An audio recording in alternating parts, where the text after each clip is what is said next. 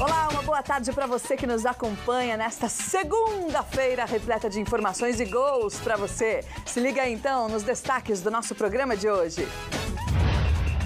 Copa Band Vale de Futebol Amador. Veja o confronto entre Facique Cruzeiro e Praiano Futebol Clube, além de todos os resultados da rodada que definiu os classificados. Superliga Nacional. Taubaté Vôlei não dá chances ao Minas Tênis e vence por 3 sets a 0 em casa. Copa Band Los Paleteiros ETEP de futebol de base. As informações sobre a rodada que definiu os classificados para a segunda fase. Paulista de basquete feminino, São José derrota o presidente Venceslau e se prepara para encarar o Santo André na grande final. Essas e outras informações, além do sorteio oficial da próxima chave aí, da terceira fase da Copa Band Vale de Futebol Amador. E para fazer isso, claro, eu tenho meu parceiro aqui, Antônio Carboda. Você tá de verde porque é Palmeiras, é isso? Essa palhaçada mesmo? Besta. Pessoal Fala não sério. sabe, nosso campeonato aqui é Palmeiras e Flamengo. O resto não interessa. O resto não certo? interessa, né, É cara? Corinthians, é Palmeiras e Flamengo, tá certo? 2x0, fora o baile. Primeiro turno foi 2x2 lá, ganhamos, empatamos meio com a ajuda do juiz. Então, Ah, então, é mais ainda um bem que ano você que sabe, né? estamos na frente. Você espera o ano que vem para concorrer com a gente, tá bom? Tá certo. Vamos Vai. falar de Copa Vamos falar Band de coisa Vale, boa, então é abraço melhor, a né? gente, todo mundo aí. Boa semana, vamos falar da Copa Band Vale, que é o que interessa. Exatamente. Agora a gente vai começar o programa assistindo o duelo decisivo entre o Facique Cruzeiro e o Praiano Futebol Clube no estádio Virgílio Antunes neste domingo pela 19ª edição da nossa Copa Band Vale de Futebol Amador. O time de Cruzeiro venceu por 2 a 0 e se classificou. A reportagem é de Márcio Correia e Claudinei Salles. Os donos da casa tinham a vantagem do empate conquistada no jogo de ida, em Ubatuba. Precisando vencer, o Praiano entrou em campo com três atacantes, mas quem partiu para o ataque foi o Cruzeiro. Já o primeiro chute a gol do time Caiçara só saiu aos 15 minutos. A resposta veio no lance seguinte. Saturno, da pequena área, abriu o placar.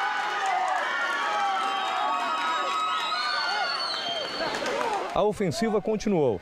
Após a cobrança de falta, Velho, de cabeça, quase ampliou a vantagem. E o Cruzeiro não diminuiu o ritmo. Aos 29 minutos, Flávio cruzou na área e Saturno, de novo, fez 2 a 0.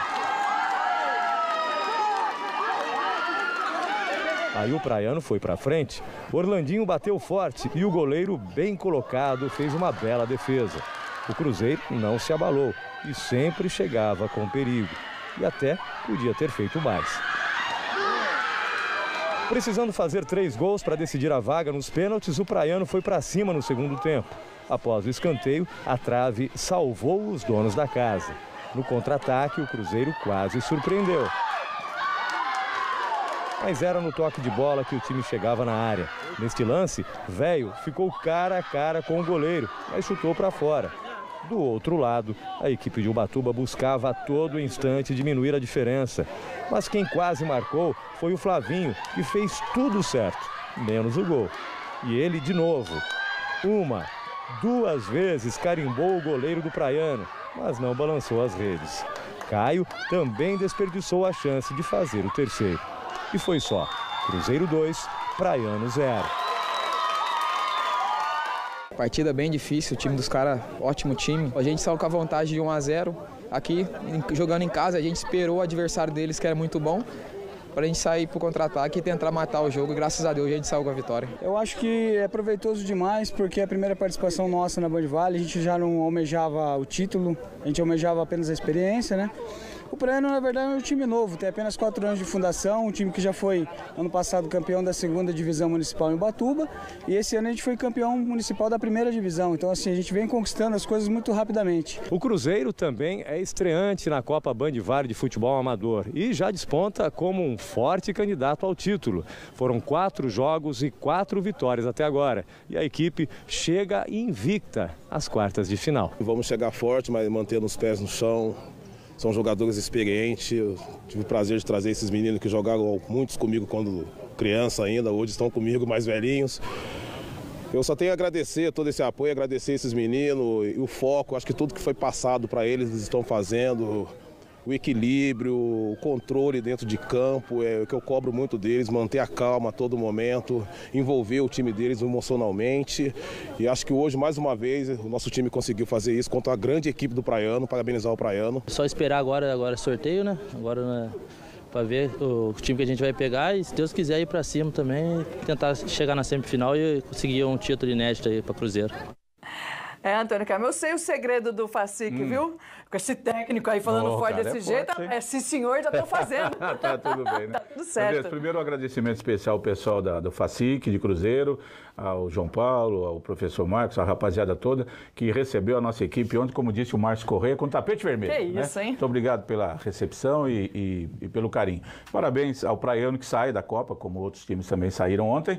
E o ano que vem tem mais, é estreante, levanta a cabeça e segue, segue a vida. E o time do Facic mostrando uma competência muito grande. Bela vitória ontem em casa, lá no, no, no estádio Virgílio Antunes. E agora é pensar, como foi dito aí no sorteio que nós vamos fazer daqui a pouquinho aqui. Exatamente. Você está vendo aí na tela os resultados da rodada também. Grupo 13, Moleque Travesso, fez um gol com um piá é, em cima do Esporte Clube Vila Garcia, mas o Esporte Clube o Vila, Vila Garcia, se classificou, pois ganhou o jogo de ida por 5 a 3 Então, no saldo de gols, ele ficou com a vaga. Aí a gente pula aqui o Facic Cruzeiro, que venceu o Braiana, a gente acabou de mostrar. Pelo grupo 15, o Esporte Clube Jardim Cerejeiras ficou no 2 a 2 com o Santana, Santana classificado. Ganhou o primeiro jogo por 3 a 0 com esse empate ficou com a vaga o time do Santana. É, no próximo duelo aqui, pelo grupo 16, o Village Futebol Clube ficou no 3 a 4 ou seja, o Real Vale do Sol venceu fora de casa e se classificou. Já havia vencido o primeiro jogo, Andrés, por 4 a 1 ganhou de novo agora em Lavrinhas por 4 a 3 segue na competição Real Vale do Sol. O, o Village pensa na temporada do ano que vem. Exatamente. Já pelo grupo 17, o Chakras Reunidas, com tudo aí, Antônio Carmo, fez 3 a 0 é. venceu por WO e está classificado. Não veio e será punido por isso. Exatamente. Grupo 18, Esporte Clube Parque Meia Lua, fez dois gols em cima do Primavera Futebol Clube. Um. E aí o jogo foi para os pênaltis. Como o Primavera havia vencido o jogo de ida por 1 a 0 necessidade de pênaltis. Nos pênaltis, os cobradores foram muito maus. Os goleiros é que foram bem. O goleiro do Primavera pegou três pênaltis. E aí o placar nos pênaltis, 2 a 1 para o Primavera. O hum. Primavera passa, o Parque Meia Lua fica pelo meio do caminho. Eita, nós. Grupo 19, Paysandu recebeu o Esporte Clube Juventude, que é lá de São Sebastião, e o Juventude se classificou Depois, pela primeira vez aí. Empate 2 a 2 no jogo de ida lá em São Sebastião e ontem de virada o Juventude ganhou do Paysandu por 2 a 1. Aliás, os representantes dos dois times estão aqui, nós vamos mostrar já já no sorteio.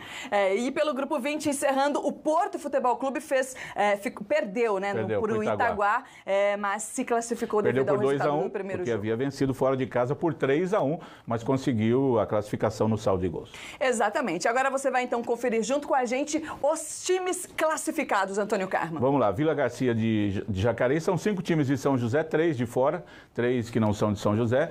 De eh, Vila Garcia de Jacareí, o Facique de Cruzeiro e o Juventude de São Sebastião. Os demais cinco times de São José dos Campos, Santana, Real Vale do Sol, o Porto, o Primavera e o Chácaras Reunidas, todos eles estão garantidos agora para a sequência do campeonato. Como você disse, vamos fazer o sorteio. São oito times que seguem na briga pelo título da competição. Posso ir aí? Então agora, Antônio Carmo, vem, vem aqui comigo. Cá, vem para a nossa tela que a gente vai fazer. É hora de fazer os resultados. E quem fez a conferência, Antônio Carmo? Quem fez a conferência hoje, dois auditores. O Julião, que é zagueiro, capitão do time do Juventude, está aqui. E o Djaê, que é técnico do Paysandu, que perdeu ontem para o Juventude, mas veio aqui com a família até para acompanhar o programa e participar. Eles fizeram a auditoria conosco aqui, os Sim. dois estão aí, acompanharam você dobrando todos os papeizinhos, colocando. Então, André, é o seguinte, aberto, então. não tem problema de jogo não, não valer, como naquela ocasião que a gente não podia repetir jogo, Sim. agora o que sair, saiu. E é o mesmo esquema, saiu primeiro, ele já é mandante do jogo. Certo. O próximo que sai é adversário dele. Então vamos ser os grupos 21, 22, 23, 24. Então vamos pela ordem. Jogo do grupo 21, 22, 23 e 24. Okay. Primeiro que sai, igualzinho foi no outro sorteio. É o mandante é para o próximo final de semana. Tá já certo? ficou claro? Tudo certinho? Não Prontos para acompanhar? Então vamos lá, vamos mexer aqui. o Ismael vai mostrar para gente, sem olhar. Primeiro time. Primeiro time como mandante. Porto, Porto Futebol Clube. É o primeiro. Cabeça de chave do 21, joga em casa no próximo final de semana, sábado ou domingo. Aí resolve. Vamos ver quem é o adversário do Porto. Próximo adversário, Já vai sair aqui, lá. ó. 21 já saiu aqui na tela, o Porto, ó. Ele vai jogar em Opa. casa contra o Facique Cruzeiro. Facique Cruzeiro, bom jogo. Porto de São José dos Campos e o Facique de Cruzeiro. Esse é o primeiro jogo do grupo 21. Já tá aqui Primeiro jogo tela. em São José dos Campos, mando do Porto. Segundo jogo em Cruzeiro, mando é, é, do Facique. Vamos ao grupo 22. Quem é o mandante Opa, primeiro? Esporte Clube Vila Garcia de Vila. Garcia vai. Pela terceira vez, o Vila Garcia sai como mandante né, do primeiro jogo. O Vila Garcia é mandante do grupo 22. Quem será o adversário Tá do Vila sorte, Garcia? tá com sorte, Vamos vamos lá. lá. Quem será o adversário do Vila Garcia, então, no Opa. grupo 22? Primeiro jogo em Jacareí. Juventude, Hum. Juventude de daqui do Julião está aqui. Então, Jacareí contra é, São Sebastião. Então, primeiro jogo, campo do Vila Garcia, no, no próximo final de semana, sábado ou domingo. Segundo jogo, jogo de volta em São Sebastião, Vamos lá, no vamos lá. Estádio Municipal de São Sebastião. Vamos para o Próximo grupo mandante? 23. Mandante? Jardim Primavera. Jardim Primavera, o campeão de 2011, o único campeão que resta na competição, o único time que tem chance Uhum. Será que de vai ser bicampeão. Vamos ver. O Jardim Primavera será mandante. Já está aqui na tela. Quem será o adversário do Opa. Jardim Primavera? O adversário do Jardim Primavera, Real Vale do Real Sol. Vale do Sol, certo? E aí, então, esse é o jogo do grupo 23. No grupo 24, logicamente, então, lá. estão os dois times que, que aí ficaram, o Santana e o Santana Chacras saiu Reunidas, primeiro. né? Então, o Santana é mandante. O Santana é mandante do jogo do grupo 24. No próximo final de semana joga em casa. E faltando, como então? adversário o Chacras Reunidas, certo? Então, tudo definido, os quatro jogos das quartas de final para a semifinal, novo sorteio. Vamos conferir aqui? Sim. Grupo 21. Porto contra o Facique Cruzeiro. Primeiro jogo em São José dos Campos, segundo jogo em Cruzeiro.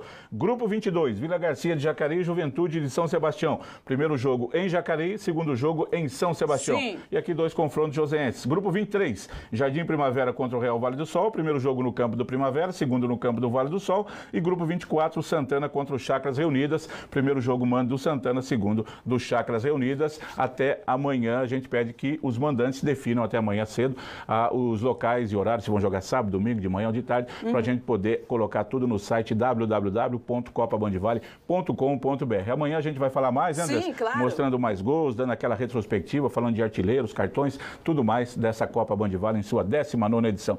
Eu quero agradecer aqui a todos os times que participaram e já foram eliminados, Andrés. Claro. Obrigado, obrigado pelo carinho aí, pelas palavras. Segue a vida, o ano que vem tem mais. E aos oito times que seguem na briga, boa sorte, sucesso. Que vença o melhor, hein? Uh, Oh, essa é nova, essa é hein? nova, hein? Certinho? Tá certo, tudo certo. Então, tudo certinho. Daqui a pouquinho também, todos os resultados das próximas chaves também no nosso Facebook. No Facebook. A gente vai para um rápido intervalo. Daqui a pouquinho a gente volta com informações, mais informações do esporte da nossa região para você. Fica aí.